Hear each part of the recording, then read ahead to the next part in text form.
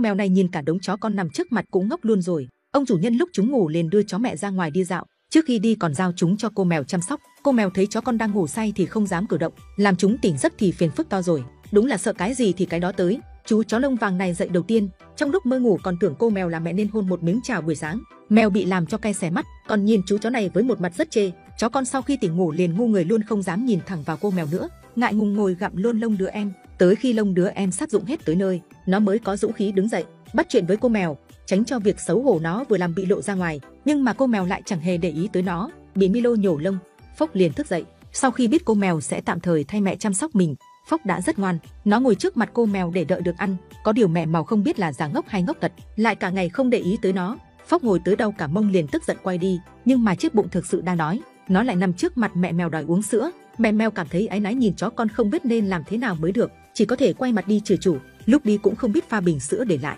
bản thân đã không có bạn trai thì chứ, biết chăm sóc tụi chó này thế nào đây. Sau nửa ngày, chó con đều tỉnh hết rồi mà ông chủ vẫn chưa đưa chó mẹ về, cô mèo liền bị đám chó con vây kín, chỉ biết ước ông chủ mau về cứu mình. Kết quả ông chủ đã về thật, nhưng không biết nhặt ở đâu về thêm một con chó con, còn tới chỗ cô mèo đòi sữa. Cô mèo nhìn cái thân hình còn lớn gấp đôi mình, cũng chẳng biết nên làm gì, trong lòng nghĩ không biết là con nhà ai để đi lạc. Nhìn cả ngày cũng không nhận ra chú chó này là con ai, vậy thì lại chăm sóc thêm một đứa nữa vậy. Con cần ngoan không được gây rối, không thì bị ăn đánh giáng chịu. Chó con nhìn cô mèo hung dữ như thế cũng có chút buồn bã. Người ta chân dài da trắng, mẹ kế của mình một chút cũng không có thì thôi đi, sao lại còn là một con mèo? Nghĩ đi nghĩ lại chó con vẫn quyết định nhận vậy. Nó cố gắng định cô mèo, nhưng cô mèo lại rất cử tuyệt. Nó không biết phải làm sao, bản thân còn to gấp đôi cô ấy, nên đã cưỡng chế ôm lấy cô mèo thậm chí còn không phân biệt được đâu mới là con.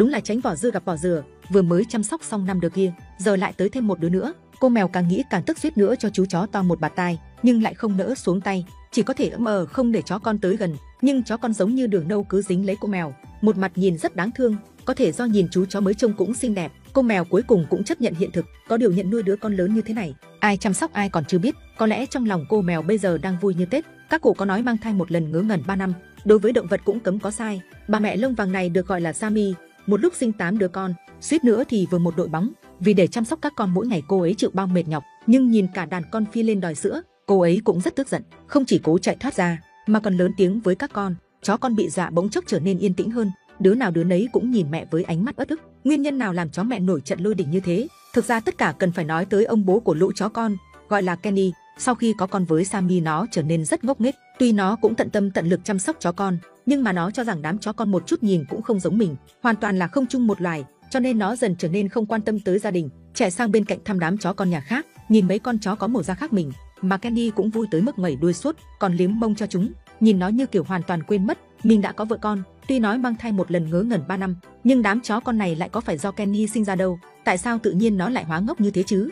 Đúng là đi quá giới hạn rồi, cũng không trách sao Sami ở nhà lại phát hỏa. Tám đứa con chỉ do một tay mình chăm sóc, chồng không biết an ủi người vợ vất vả này thì thôi, lại còn đi chăm sóc con nhà khác. Sami càng nghĩ càng tức, lại xả cho đàn con một trận, có điều các con cũng vô tội. Sami bình tĩnh lại và dỗ dành các con. Tuy chồng cô là một người cha không thể dựa dẫm, nhưng những đứa con trước mặt vẫn là do bản thân đứt ruột đẻ ra, vẫn là không thể làm ngơ chúng như ông chồng ngốc được. Nếu như không đoán sai, thì Candy tối nay có lẽ sẽ không được bước vào nhà nữa.